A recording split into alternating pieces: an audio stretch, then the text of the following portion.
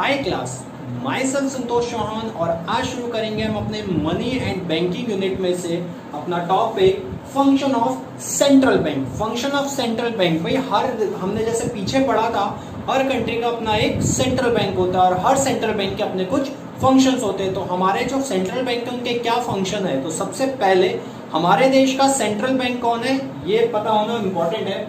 As we all know हमारे देश का सेंट्रल बैंक जो है, वो है आरबीआई। तो हमारे देश का जो सेंट्रल बैंक है, आरबीआई, उसके फ़ंक्शंस क्या क्या हैं? या जितने भी सेंट्रल बैंक्स होते हैं, उनके फ़ंक्शंस क्या क्या होते हैं? फ़र्स्ट फ़ंक्शन हमारे पास है currency authority first function is currency authority what you mean by currency authority currency authority means जो हमारे देश का या जो भी सेंट्रल बैंक होता है, उसको फुल्ली अथॉरिटी वो सोल अथॉरिटी होता है। किस चीज़ का? कि वो करेंसी छाप के मार्केट में इंट्रोड्यूस करेगा। मैं फिर से एक्सप्लेन कर रहा हूँ, ध्यान से सुनना।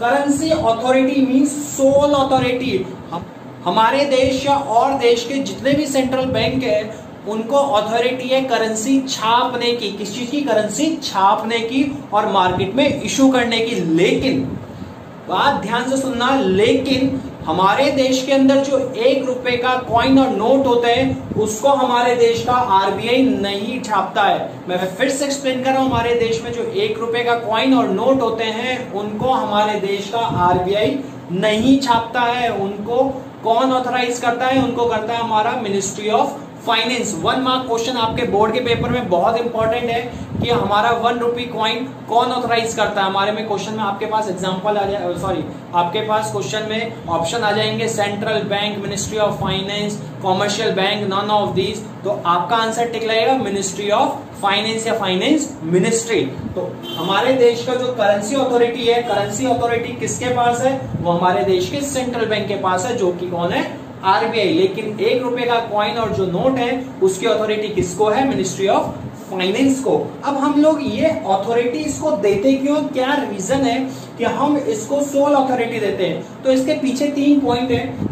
First point is uniformity in note circulation जो हमारा नोट का सर्कुलेशन है, उसमें एक यूनिफॉर्मिटी बनी हुई रहती है। अगर जो हम अलग अलग लोगों को इसकी अथॉरिटी दे देंगे तो उसके अंदर वो यूनिफॉर्मिटी नहीं आएगी।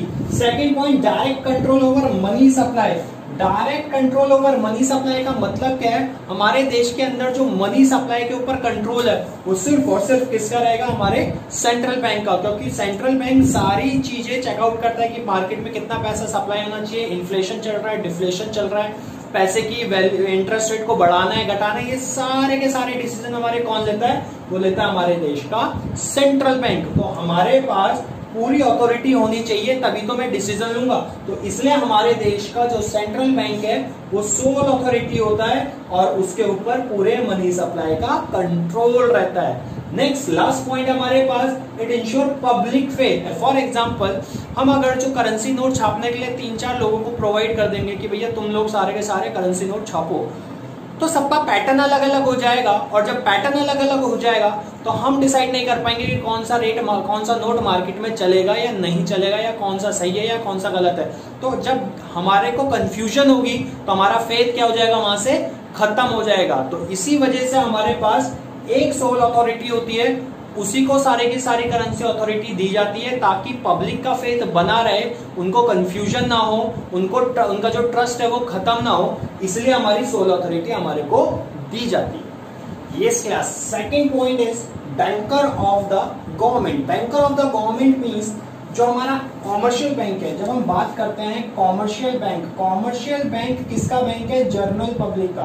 ये बैंक है हमारा जर्नल पब्लिक का। लेकिन जब हम बात करते हैं सेंट्रल बैंक की तो सेंट्रल बैंक किसका बैंक है? गवर्नमेंट का बैंक है।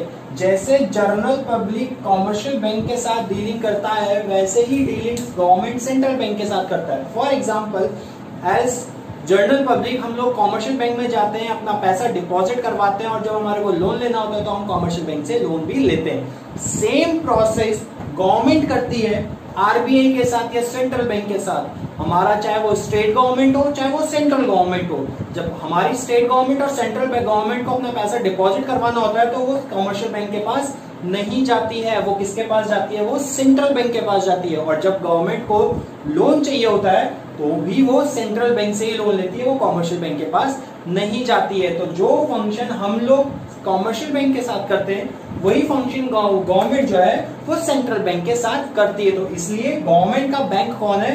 गवर्नमेंट का बैंक है हमारा आरबीआई तो पहला काम तो ये क्या करता है? बैंकर का काम करता है। सेकेंड थिंग इज़ एजेंट दूसरा काम करता है ये as an agent as an agent में क्या करता है? ये sale and purchase government security सरकार की जो सिक्योरिटीज होती हैं उनको सेल परचेज का काम कौन करवाता है? वो करवाता है हमारा आरबीआई मैं फिर से एक्सप्लेन कर रहा हूँ। गवर्नमेंट की जो सिक्योरिटीज होती है, उनका सेल परचेजिंग कौन करवाता है? आरबीआई करवाता है, इसलिए हम इसको, इसका एक एजेंट भी कहते हैं, जैसे हमारी सिक्योरिटीज को सेल परचेज करने के लिए हम मीडियोकर या ब्रोकर रखते हैं तो हम उसको क्या कहते हैं, वो मेरे एजेंट है कि वो मेरी सेल और सिक्योरिटी सेल परचेज करवाएगा। आपकी कार है, अगर जो आपकी कार कोई बिकवाता है तो आप कहते हैं भाई, वो मेरा एजेंट है जो मेरी गाड़ियाँ बिकवाता है। तो हर चीज़ के लिए, हर सेल परचेज के लिए आपको एक एजेंट की रिक्वायरमेंट होती है। उसी तरीके से यहाँ पे हमारी सिक्योरिटी का जो सेल परचेज है, वो कौन करेगा? वो करेगा आरबीआई तो आरबीआई इसका कौन हुआ एक एजेंट के तौर पे काम करता है जो इसकी सिक्योरिटी को सेल और परचेज करता है। लास्ट इज़ एडवाइजर हमारी जितनी भी मॉनिटरी पॉलिसी इलेवेंथ क्लास में आपने पढ़ा होगा, हमारे पास दो टाइप की पॉलिसी जनरेट होती है, एक होती है मॉनिटरियल एक होती है हमारे पास फ़िज़िकल पॉलिसीज़ तो जो भी मॉनिटरियल पॉलिसी है, पैसों से रिलेटेड जितनी भी पॉलिसीज़ है फाइनेंशियल जितनी भी पॉलिसीज़ है उनके ऊपर एडवाइस कौन करता है गवर्नमेंट को? एडवाइस कौन करता है? हमारा आरबीआई तो हमारा ये एज एन एडवाइजर भी काम करता है। तो बैंकर टू द गवर्नमेंट में हमारे लिए तीन काम करता है। पहला काम करता है एज एन बैंकर जैसे हम लोग नॉर्मल बैंकों के साथ अपनी ट्रांजेक्शन करते हैं, वैसे भी ये काम करता है। पहला पॉइंट जहाँ ये बैंक में सेविंग्स करता है और लोन लेता है। सेकेंड थिंग इज़ एजेंट एक एजेंट का काम करता है, जहाँ ये गवर्नमेंट की सिक्योरिटीज का सेल परचेज करता है। और थर्ड थिंग इज़ एडवाइजर जहाँ पे क्या करता है? गवर्नमेंट को एडवाइस करता है फाइनेंशियली फाइनेंशियल पॉलिसीज़ के ऊपर.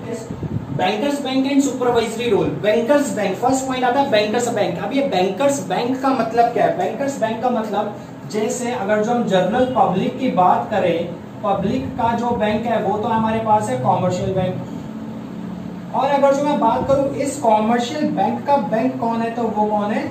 सेंट्रल बैंक जैसे कि जर्नल पब्लिक कॉमर्शियल बैंक में अपना डिपॉजिट करवाती है और लोन लेती है। इसी तरीके से हमारा जो कॉमर्शियल बैंक है, अपना बैंक अकाउंट और जो लोन लेना होता है, वो किससे लेता है? वो लेता है हमारे सेंट्रल बैंक से। तो जैसे हमारा बैंक कॉमर्शियल बैंक है तो कॉमर्शियल बैंक का बैंक कौन है? Central bank next point is supervisory role supervisory role का मतलब क्या होता है? ऑब्वियसली बात है हर एक के ऊपर एक सुपरवाइजरी रोल होना बड़ा ज़रूरी है। फॉर एग्ज़ाम्पल बच्चों के ऊपर टीचर टीचर के ऊपर प्रिंसिपल प्रिंसिपल के ऊपर management same as it is public के ऊपर कॉमर्शियल बैंक और कॉमर्शियल बैंक के ऊपर कौन बैठा हुआ है? हमारा सेंट्रल बैंक सेंट्रल बैंक सारी की सारी जितनी भी टर्म एंड कंडीशन क्रिएट करता है, वो सारे की सारी टर्म कंडीशन हमारे कॉमर्शियल बैंक को माननी पड़ती है।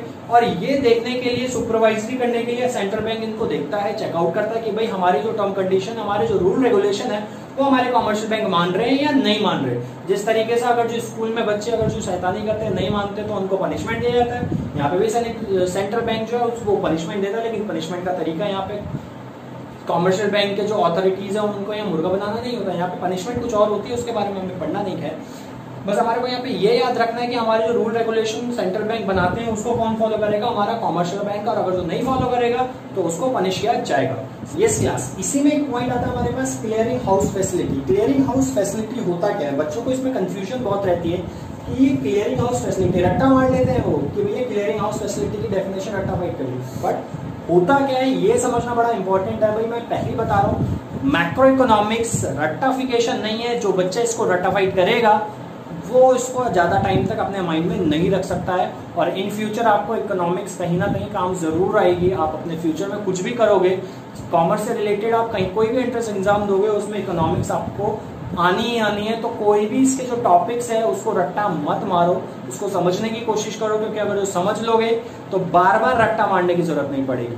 समझोगे नहीं, रट्टा मारोगे तो हर दूसरे महीने आप उस चीज़ को भूल जाओगे, क्योंकि लगभग लगभग सभी कॉन्सेप्ट एक दूसरे के साथ रिलेटेड है और वो कंफ्यूजन क्रिएट करेंगे। तो समझते हैं हम अपना क्लियरिंग हाउस फैसिलिटी को। भाई क्लियरिंग हाउस फैसिलिटी समझाने के लिए मैं आपके साथ एक एग्ज़ाम्पल शेयर कर रहा हूँ। फॉर एग्ज़ाम्पल दो बैंक है, एक पी एन बी है और एक एस बी आई है।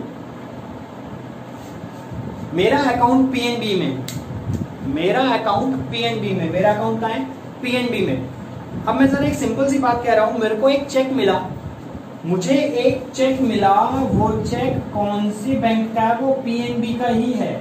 मुझे वो चेक पीएनबी का ही मिला तो मैं वो चेक लेके अपने बैंक अकाउंट में गया या अपने बैंक में गया।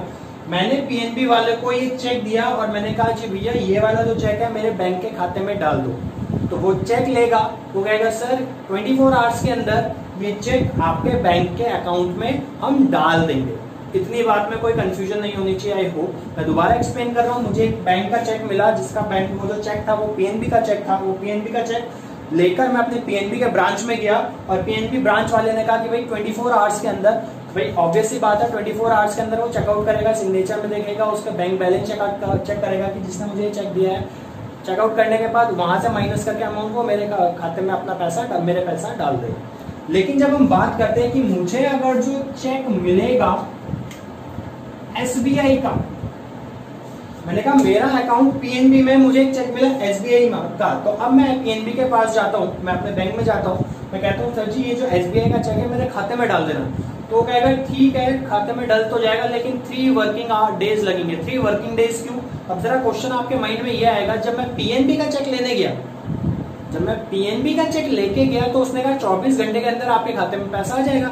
लेकिन जब मैं किसी दूसरे बैंक का चेक लेके अपने बैंक में गया मतलब दूसरे बैंक का चेक लेके पीएनबी के पास गया तो पीएनबी वाले ने कहा, थ्री वर्किंग डेज़ लगेंगे आपके खाते में इस चेक के पेमेंट को आने में। ऐसा क्यों कहा गया? ऐसा क्यों होता है?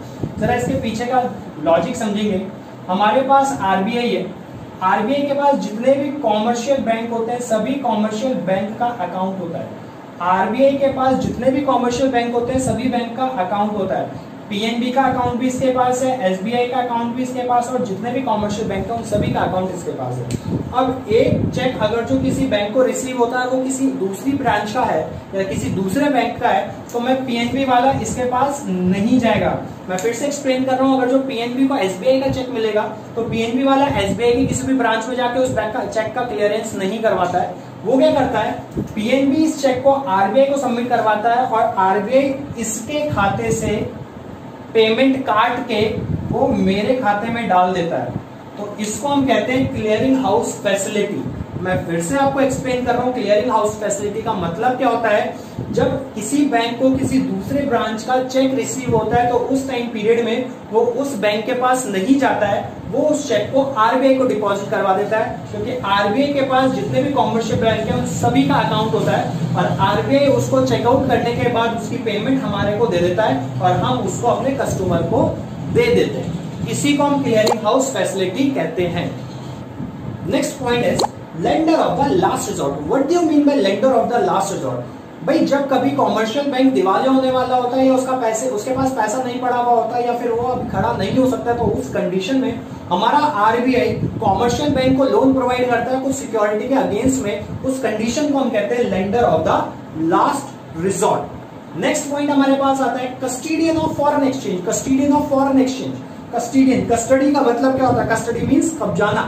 जितने भी हमारे देश के अंदर फॉरेन करेंसीज आती हैं, चाहे वो डॉलर हो, चाहे वो यूरो हो, वो हमारे किसी काम का नहीं है। भाई, हम अपने मार्केट में रुपए चलाते हैं और हमारी करेंसी रुपए है और हम उस पर ही काम करते हैं। तो बाकी जो भी करेंसी फॉरेन कंट्री से हमारे देश में आती है फॉरेन करेंसी जो भी होती है, उसको कंट्रोल करके, उसको होल्ड करके, उसको कस्टडी में कौन रखता है? उसको कस्टडी में कौन रखता है? हमारा RBI class next point is control of credit obviously बात है भाई, हमारे देश के अंदर इन्फ्लेशन होता है डिफ्लेशन होता है मनी कभी मार्केट में ज़्यादा होती है, कभी कम होती है तो उसको कंट्रोल कौन करता है? उसको कंट्रोल हमारे पास, हमारा आरबीआई करता है, हमारे देश का जो सेंट्रल बैंक है, वो हमारे देश के अंदर जो मनी सप्लाई है, उसको कंट्रोल करने में हेल्प करता है। जब हमने इसका फ़र्स्ट पॉइंट पढ़ा था तो वहाँ पे हमने पढ़ा था कि इसका सप्लाई मनी सप्लाई के ऊपर पूरा कंट्रोल होता है। तो वही हमारी क्रेडिट को भी कंट्रोल करती है। क्रेडिट कंट्रोल का मतलब क्या होता है? हमारे देश के अंदर जो मार्केट में पैसा जा रहा है उस पैसे का कैसे हम कंट्रोल कर सकते हैं? अब कंट्रोल कैसे होगा? क्रेडिट के थ्रू अब क्रेडिट के थ्रू कंट्रोल कैसे होगा जी?